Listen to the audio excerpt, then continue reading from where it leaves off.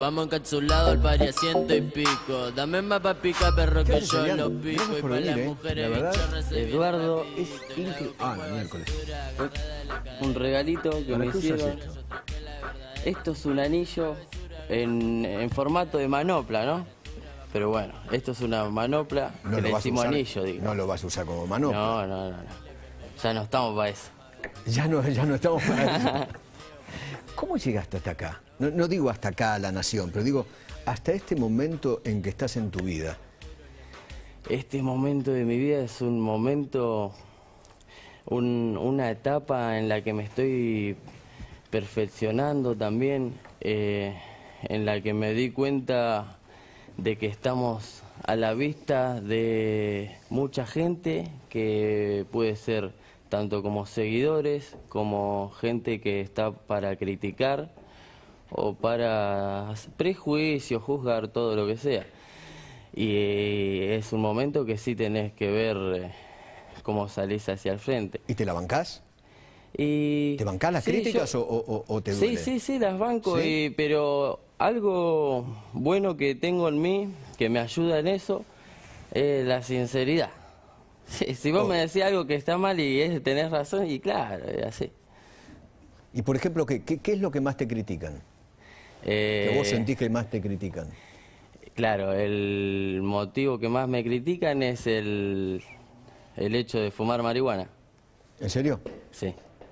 Y el alcohol también, ¿no? No, el, el alcohol, mira, yo soy una persona que ya el alcohol le aflojó hace bastante.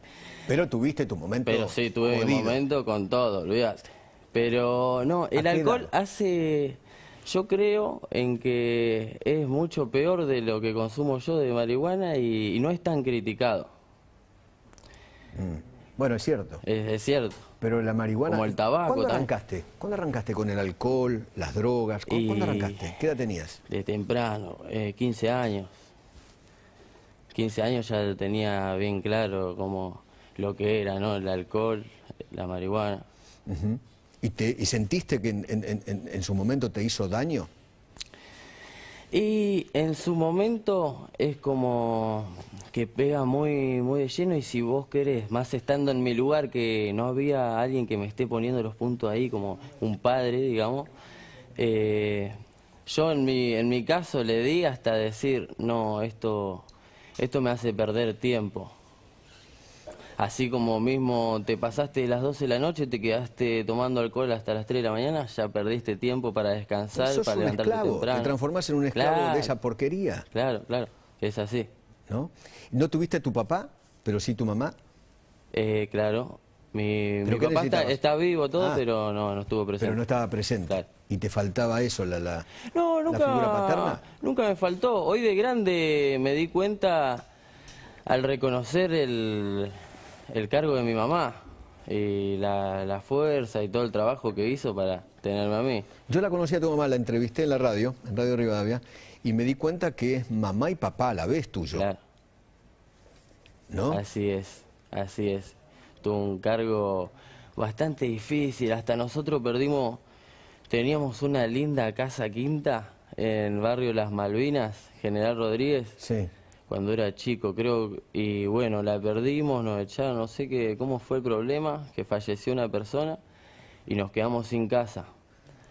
Y, Y tuvieron que arrancar de, de cero. sí, encima con mi mamá. ¿Y a dónde fueron a vivir? ¿A ¿Una villa? Eh, no, no, sí, es verdad, Villa Raraz. Villa Raraz se llama el barrio, el barrio de mi abuela. ¿Y? Y ¿Ahí estuvimos tres, cuatro años habremos estado y en el 2010 eh, por el bicentenario 1810, 1910 eh, no, 2010, bicentenario. bicentenario. ¿Y? Eh, bueno, hicieron una entrega de casas y ahí estuve, estoy viviendo yo hasta ahora. Ah, ahí estás viviendo. Ahí estás viviendo. Che, contame una cosa. Sa- ¿Sabés que, a ver, te hiciste más popular o tu, o tu nombre se hizo más popular y tu imagen se hizo más popular porque te nombró la vicepresidenta de la República, que para colmo te nombró mal, ¿no? Eh, como si fuera Elegant. en, en- claro, en una forma en idioma inglés. Sí. Espera, va- vamos a, a recordarlo juntos. Dale. Mirá. Eh, unos días estaba leyendo una intervención en un medio extranjero que le hacían a, a un pibe, Elegant, creo que se llama Elegant, ¿no? Elegante, sí. Eh, un rapero. Bueno, eh, yo les recomiendo que lo, que, lo, que lo escuchen porque él dice que con esa conectar igualdad en el 2014 y con que recibió en el 2014 y un microfonito de mil pesos, hizo un tema que hoy tiene 176 millones de reproducciones en YouTube. En el mundo. Esto no fue así, ¿no? Como lo contó ella. Creo que, fue- creo que así fue. No, no, no, no. Así lo contó ella, pero. Ah, la- la versión de la historia, claro. Sí. No fue como lo contó ella. Eh, no, no, la computadora yo no la había adquirido en el colegio. Justo, en, justo cuando la entregaron a todos mis compañeros, yo había abandonado la escuela. Dejaste el La cole. tenían todos menos yo. ¿Y eso cuándo fue? ¿En qué año? Eso habrá sido, ¿qué fue? Año 2013, ¿Pero en 2014. qué año del colegio? ¿Segundo, tercer año? Era en primer grado, primer año de la secundaria. Séptimo vendrían a Ok, decirle antes, ¿no? Claro. O Ahí. primer año de la secundaria cuando yo iba a la- secundaria. Escuchame una cosa, y entonces no era así el cuento como lo contó Cristina. Bueno, empezaste a cantar corregir y grabar. Eso sí, del micrófono de mil pesos sí, y la de que la netbook me sirvió también. Yo la conseguí haciendo un revoleo, creo que la cambié por el celu. Un revoleo, se llama revoleo. Claro, un, Cambias una cosa un por otra. Vendo permuto. Escuchame una cosa, de- ¿desde los 15 cantás? Eh, mi primer tema profesional creo que salió a los 16, pero sí, 14, 15 ya estaba ¿Y metiendo. qué se te dio? Y te- primero de, de chico me, me encantaba, estaba muy centrado en, en los artistas, me encantaba los, eh, el mundo de la música, digamos, ¿no? Eras un cholulo. Claro. Y después, bueno, empecé a probar porque me gustaba la música ¿Y y, quién quería te empezar a gustaba? hacer yo. Y te lo tengo que decir sinceramente, el Piti, Intoxicados, el, ¿El Dipi? ¿En serio? Piti, Ah, el Piti. el. Piti Álvarez. Ah, el Piti Álvarez, claro. Qué bueno. Eh, después- Intoxicados. Claro. Indio Solari, que te lo dije primero porque sé que ahí vos, vos me das un freno, entonces te lo tiro primero y después te digo lo demás. No, la música es música. ¿no? Claro. Vamos. Entonces, bueno, eso me gusta mucho hasta el día de hoy. Después escucho reggaetón, cumbia, hasta Horacio Guaraní, eh, folclore. de- varía mucho en eso. Pero sí, el, el estilo que me gusta a mí es la cumbia. Cumbia y reggaetón siempre fue entre esos dos el ritmo que más me gusta. El ritmo. El ritmo. ¿Y lo que vos hacés qué es? Si vos tuvieras que explicarle a... a- Lo que Aquellos que nos hacemos están viendo. nosotros, claro, ¿Qué haces? es cumbia 420 el género que estamos haciendo. ¿Y qué es 420? 420, eh, en mi caso lo simboliza hacia, la- hacia la marihuana. ¿En serio? ¿Y por, Claro. por qué? Tiene una historieta del 20 del 4 por eh, la organización del mes en Estados Unidos, viste que está al Eh, revés. al revés, sí. También dicen que es una buena hora para fumarse una marihuana, 420 AM. ¿Y por qué le cantas a la marihuana? ¿Por qué haces letras con la marihuana? ¿No hay No, otras cosas para...? eso no, no es eh, que le canto a la marihuana. Puse eh, gran parte de reconocimiento en, en el género, lo pusimos, porque Cumbia 420 es Ah, el género de ah, música. ok. Y, pero claro, es por que la marihuana me brindó la inspiración. Sí. Yo no sé cantar hasta ahora. ¿Cómo lo, cómo lo sabe cantar? No sé cantar hasta ahora. estás uno en Billboard, apareces en los carteles de Nueva York. ¿Cómo decís que no sabes cantar? Yo te lo reconozco y me lo reconozco yo mismo. Me gustaría, voy a empezar a, a ir a clases de canto eh, para quizá el día de mañana somos un gran artista. Mm. Escuchame una cosa, eh, Uy, esto me gusta.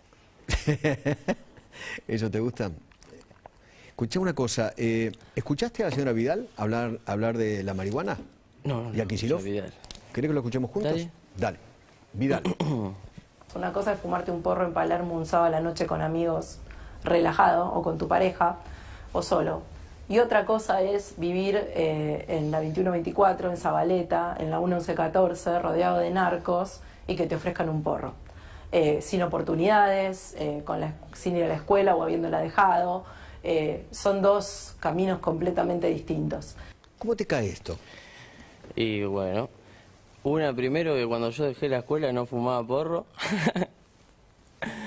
Eh, otra no, para mí está de más decir la ubicación, Eso de Palermo no, Claro. te, no, no te gusta. porque un narco puede estar en cualquier lado. Y no, de Palermo no, digo la ubicación que dijo de las villas, todo eso. Ah, Palermo y, ah, y las villas que dijo, para mí es lo mismo. Yo vengo de la villa y voy a Palermo, pero lo que sí vi poca gente de Palermo ir a la villa. Quizá el problema que ella está hablando ahí y no sabe cómo decirlo es de que te puedes fumar un porro. El problema es el tráfico. Entonces envuelven todo eso y mezclan las cosas, porque como yo soy, en mi caso no, no tengo una enfermedad que, que me diga que lo tengo que usar, pero lo uso para relajarme, bajar el estrés y hay personas que sí lo pueden usar medicinalmente, pero por problemas de confusiones como esa no lo pueden hacer legalmente, ¿no? Contame una cosa, ¿qué, qué es tu mamá para vos? Y mi mamá es todo, olvidate. De, de ella saqué el carisma. eh, ¿Es la que te pone los puntos? Nunca me puso los puntos de una manera brusca, digamos, ¿no? Pero sí me, me hizo saber lo que estaba bien, lo que estaba mal. Allá yo también algunas cosas no le hice caso en el momento y fui y las hice y no quiero defraudar a mi mamá, esto no lo voy a hacer más. Es uno te puede convidar, te puede dar ideas, todo, pero el tema es cuando vos salís de casa. A mí me gustaría que mi hija, sí, yo te enseño todo, todo eso, y ahí vas al ¿Cómo mundo y te hija? vas a... ¿Tenés hija? Está por nacer. ¿En serio? Sí, ahora en alrededor de 20 días. ¿En serio vas a ser papá? Sí, con 21 años. Qué impresionante. ¿Y cómo lo, cómo lo vivís eso?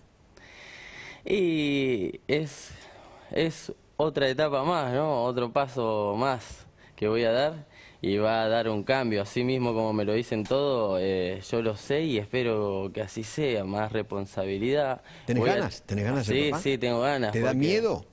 No, no. Eh, y si no, iremos a chocarnos contra lo que no espera, pero eh, me enternece de que va a estar alguien ahí aprendiendo de mis pasos, aunque quizás yo también algunas cosas me la tenga que corregir. Y nada, Qué voy a bárbaro. dar todo por esa personita. Definime tu barrio. ¿Cómo es tu barrio? Mi barrio. Mi barrio, como te dije, un- fue una entrega de gobierno, ¿no? Eh, vino gente de todos lados, de, de varios barrios, así como gente que había perdido casa con nosotros. Bueno, te digo cómo está la edificación que tiene cuando vos estás en ese barrio. La entrega fue, ¿te tocó duplex o te tocó casa? El duplex es una tira larga, así como un edificio de dos pisos, que hay, debe haber cinco, ¿no? En cada tira. Eh, bueno, esos son los de dos pisos. Tienen dos habitaciones, un baño y un cocina comedor abajo. La habitación y el baño arriba, duplex. Yo vivo en una casita, a mí me tocó una casita, la cual es una casa que está a la mitad, se divide, ¿no? Dos habitaciones, un baño, cocina comedor. ¿Vivís con tu mamá ahí? Claro. Sí, ahí viví toda la vida con mi mamá. ¿Y vivís ahí ahora con tu mujer y, y- y tu futura niña? Eh, no, ahora estamos medio de acá para allá. Estoy por definir cuál, dónde voy a estar yo con mi, o yo con mi mujer o mi mujer más que nada cuando yo esté haciendo mi trabajo. ¿Esperás una nena? Eh, ¿Ya sabes el...? Sí, ya es, es nena, es nena. Ah, te vas a volver loco entonces. Así dicen, así dicen. Di- dicen así, ¿no? Lo escuché ese comentario, sí. Dicen así. Así que to- todavía estás viendo si te vas a ir a vivir con, con tu mujer o seguís con tu madre. Sí, pasa que no, nos llevamos bien y con mi mamá siempre, ahí me ayuda en todo, me sigue. Aparte, eh, ¿no te gustaría que tu mamá te entienda, te comprenda y, más, vení, vamos a hacer esto, vamos? Escúchame, vos sos consciente, creo que tenés algo así como 3 millones de seguidores en Instagram, ¿no? Una cosa así. Sí, 3 millones Impresionante. 200 mil creo, impresionante. Ahora, vo- ¿vos te, te das, sos consciente de lo que generás en esos chicos, en cada uno de ellos?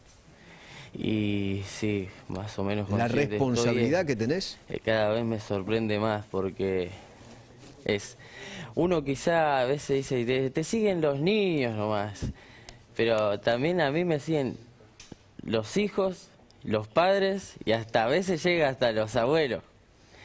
Y nada, como siempre dije, la educación viene de un padre y también lo que yo canto eh, es una realidad que la cual yo viví y la cual ahora mismo te estoy contando las cosas que viví, que algunas las dejé porque me parecían mala idea y otras seguimos adelante. Qué bueno que digas eso, ¿no? Que, que lo que dejaste, ¿no? La, la- la droga Claro. es mala idea. Porque Así ese es. sí es un lindo mensaje que vos le dejás a, a los, a los más jóvenes o a los chicos que te siguen. Que es mala idea esa. Porque... No es el camino. Claro, yo te, te muestro todo, ¿no? Lo que viví en mi barrio, lo que pasé, vi fierro, como viste vos en el video, ¿viste? No me gusta eso de los fierros, te lo tengo que decir. No, no. Si me aceptás la crítica, Sí, sí, no sí, yo entiendo te por, qué, por qué tanto fierro. ¿Por qué? Ahí ya, ya lo aprendí. Yo lo aprendí. Pasa, de, de chico ahí te los cruzás, es cosa que te cruzás. Yo lo aprendí eso, yo de quizá 14 años. Eh, mirá, tengo un arma al alcance de la mano. Pero nunca la, us- estuviste- ¿Estuviste nunca la usé. alguna vez o no? Eh, de yo andar calzado, para nada. Ok. La tuve mucho al alcance de, de las manos, como estaba diciendo.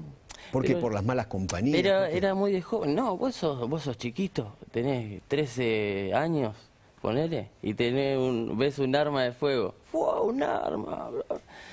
Pero obvio que yo me... Bueno, al menos yo me di cuenta de que no, no estaba. Esas cosas son serias. Mal camino. Pa- son para usarla para gente que tiene su trabajo y...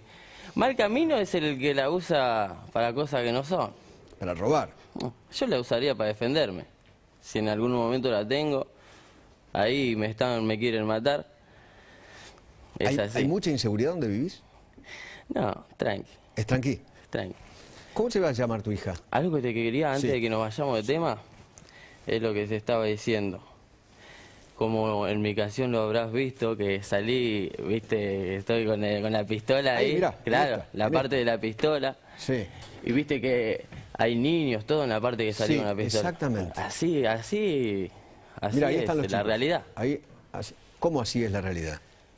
En, en algunos barrios hay armas y hay niños que las pueden estar viendo.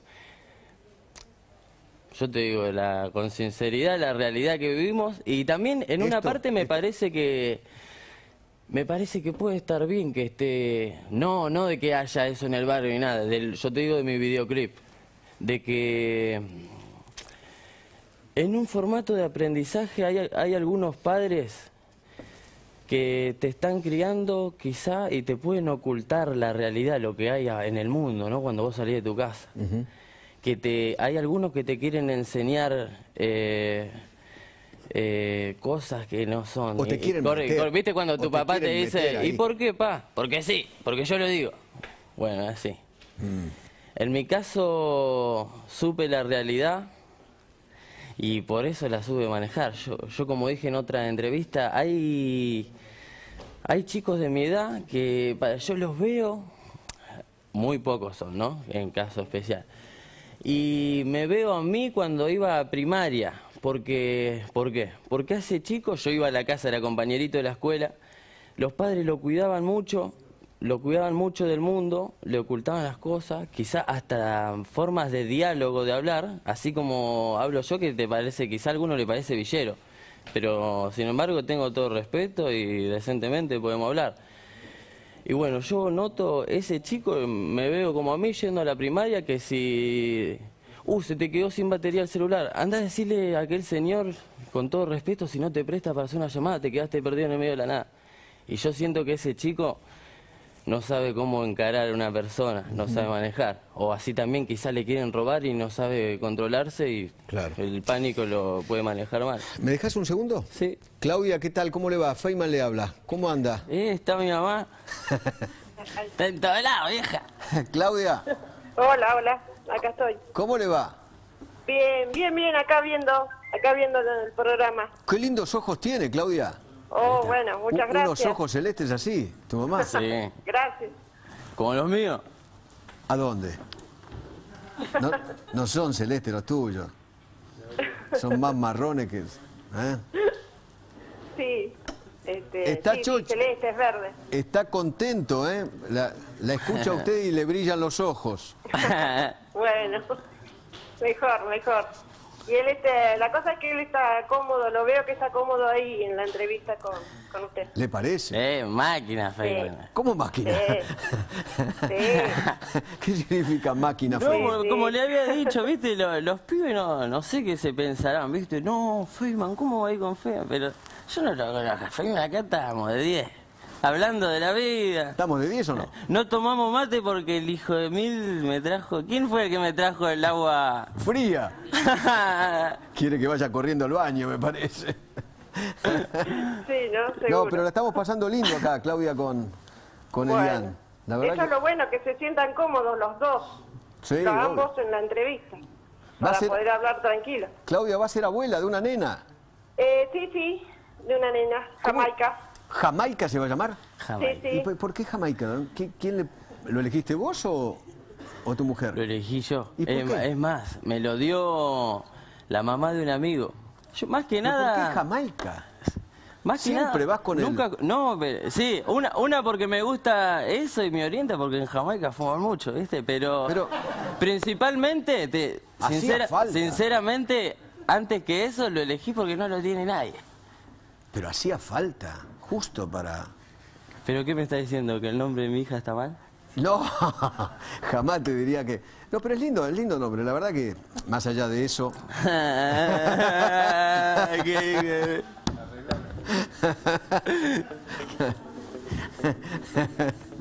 Escuchame una cosa, ¿y por qué no le pusiste María?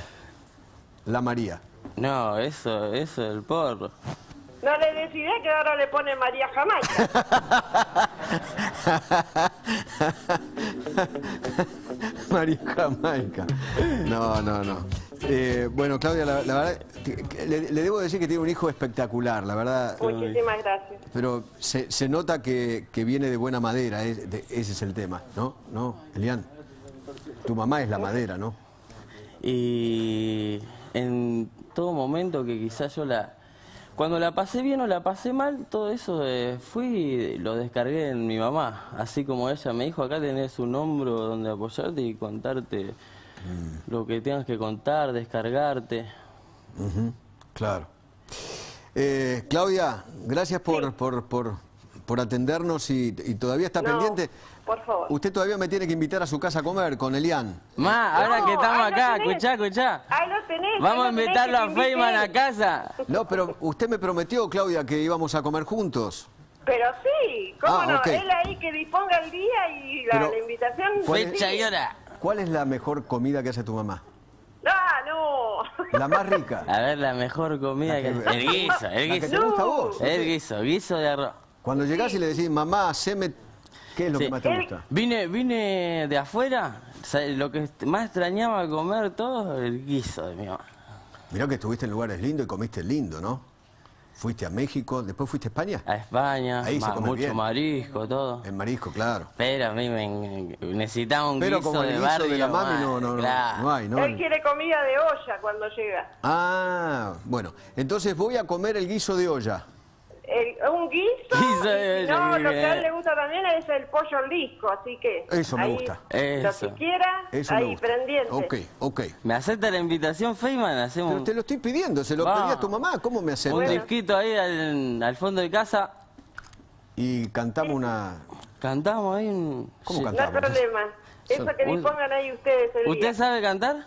No, no. Yo tampoco, así que vamos, vamos, cantamos. Claudia, le mando un beso. Bueno, Un beso gracias a grande. ustedes. No, me Chau, hicieron. Chao, hasta luego. Me, me hicieron un video, pero ahora te lo quiero mostrar el video. Ah. El que escuchaste el otro día, no, pero, pero no lo viste. ¿Lo tenés a mano? Dale, ponelo, ponelo, dale. Escuchá. Más el humo que me fumo, me siento el número uno. Cuando ella mueve el culo, eh puta, y lo paga pa' la pare, pa, pa- pare, bien duro. Cumbia cuatro este palo negro. La mente cada vez más loca, enrollándome un churro mixto. Te va gustando, siempre andamos activos pa' lo pili, tranqui. Que cuando ella mueve el culo, me fumo un churro, churro, churro, charuto. Churro, churro, charuto. Churro,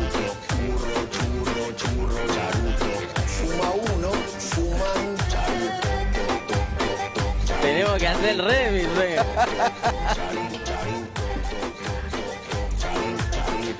¿A vos te parece? ¿Quién hizo esta genialidad? No sé, no sé, quién hizo esto en TikTok. No, no, no tengo ni idea. La verdad no tengo ni idea. Vos, eso se pega. ¿Vos, ¿Vos decís? Sí. ¿Por qué hiciste el abecedario? ¿Por qué, decidiste cantar el abecedario? ¿Eso lo hiciste en México? Sí, yo lo, eso mismo creo, me, me habían preguntado eso una, una vez anterior y, y yo lo había dicho eh, que porque los chicos querían aprender el abecedario, para que lo aprendan, ¿no? Eh, como una herramienta para la enseñanza, aunque también es eso, en esa entrevista no me había acordado yo y acá te lo digo un dato que no había dicho. Eh, es que yo uso Facebook, ¿viste? Hasta ahora sigo us- usando el Facebook personal, ahí el del bar.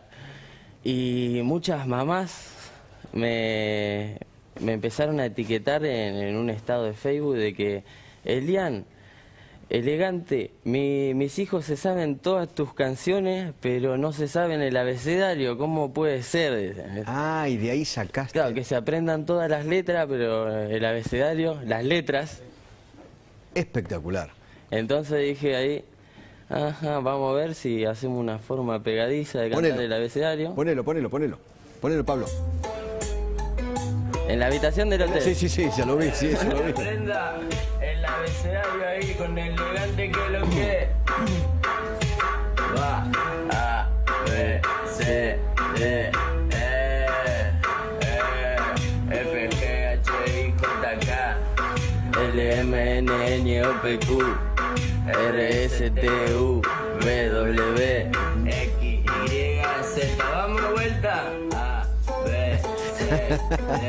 Es genial. Y, te salió así de una. ¿Y el, ritmo siempre el mismo? El ritmo que Si tuvieras que hacer una hora, por ejemplo, con, no sé, con Feynman y el noticiero, por ejemplo, ¿qué, qué, qué cantarías? Y la verdad, no tengo mucha idea porque yo no soy como. Ah, no lo sacás en el artistas. momento. No, claro, yo no soy rapero ni, ni Ah. freestyler, yo soy cumbiero. Ah, ok. Entonces te tenés que sentar a hacer la Claro, letra y... Quizá en un momento me sale una improvisación, pero yo en la, la que me sale aprovecho el momento de inspiración y me lo guardo para cuando vaya a grabar. Está muy bien. ¿Me bancás un minuto? ¿Te bancó? Disfruta la primavera en Simmons y prepárate para decir buenos días. Septiembre tiene todo para cambiar tu juego de colchón y somier. Hasta 45% de descuento en 24 cuotas eh, fijas y con envíos bonificados a todo el país. Acércate hoy a un local Simmons o comprá en su tienda online con 24 cuotas, ahora 24. En Simmons no solo fabrican colchones para dormir mejor, los hacen para descansar en primera clase. Mirá.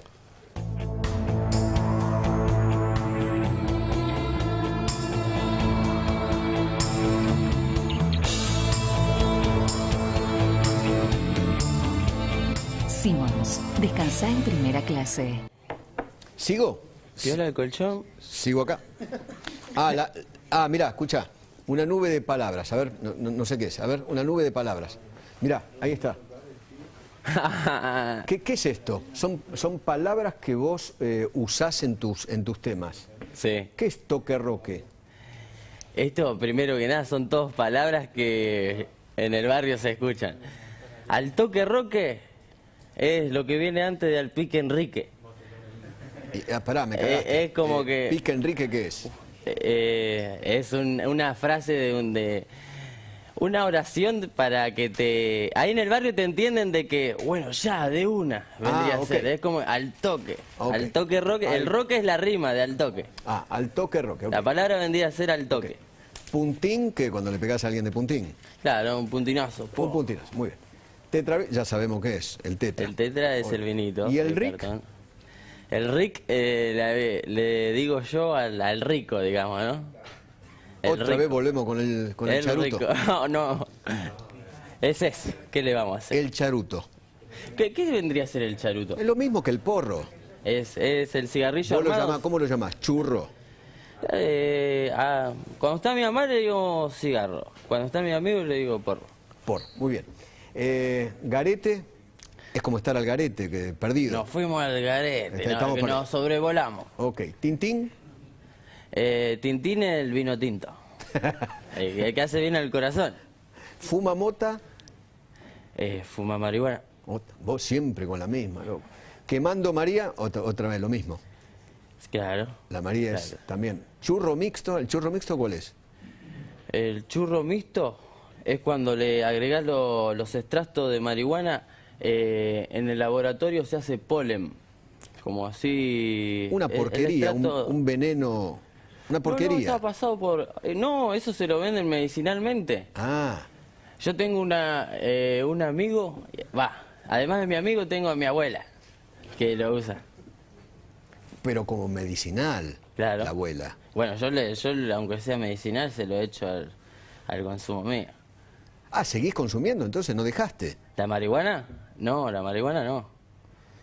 El alcohol y el tabaco. ¿Y por qué no dejas la marihuana? ¿Por qué no la dejas? Porque antes me gustaba, ¿no? Eh, era más por gusto. Hoy en día eh, la sigo teniendo, pero más que el gusto es por el estrés.